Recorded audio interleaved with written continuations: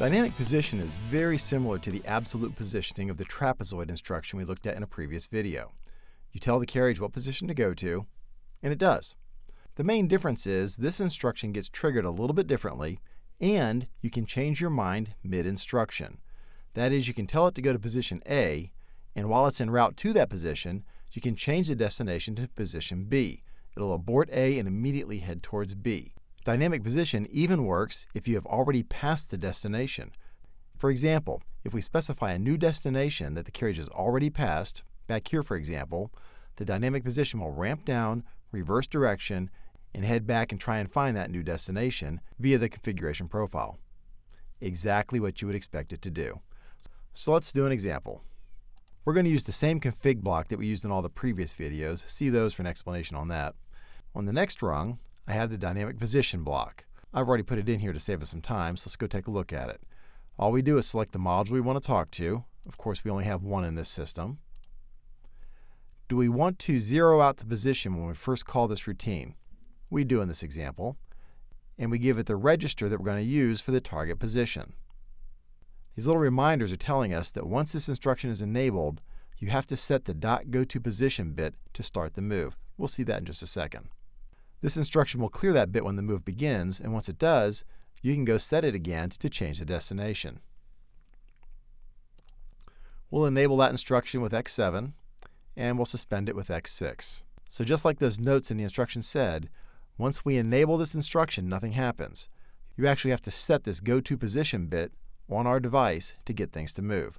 We're going to use the rising edge of X0 to do that in our example. Now to help us with this, I've added a few more instructions here. Anytime x1 gets set, we're going to change our destination register to 0. x2 will change it to 100,000, x3 will change it to 200,000, and x4 will change it to 400,000. That way I can very quickly change destinations while this thing's running. So let's accept all these changes, save it to disk, and write it to the PLC. So let's see, D0 is currently set at 200,000. Let me change that. I'm simply going to flip X4 and D0 got changed to 400,000. Perfect. So when we run this example, what's going to happen is the position will get cleared out via our config. So the carriage will be starting at position 0. I've already set up the destination register with 400,000, and I've enabled the instruction. To get things to start moving, all we have to do is flip X0. Now before we do that, let's come up with a plan here. We're going to head towards 400,000. When the carriage starts moving, I'm going to quickly flip X2 to put 100,000 in our destination register. After I've done that, I'm going to flip X0 again to kick off that new target. So what we should see is the carriage head towards 400,000. While it's en route, I'll change the destination, set X0, and we should see the carriage ramp down and then ramp back up and head back towards 100. Let's try it. Here we go. I'm going to kick it off with X0, change the destination, Kick X0 again, watch the carriage change its mind and head back. I'm going to change the destination to 0, kick that off, and try it again. So we'll change our destination to 400,000, kick it off, change it, and back it goes.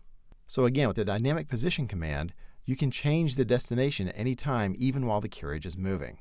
The dynamic velocity command allows you to ramp to a specified frequency, and it allows you to change that frequency at any time dynamically. The good news is you don't need to toggle a bit with this one though. All you have to do is change the frequency and it will follow. Well, that's all there is to implementing motion with the dynamic position and dynamic velocity instructions. Be sure to check out the other videos in this series for more on using motion. And as always, please send us any comments you may have. We appreciate the feedback. Spend less, do more. From Automation Direct.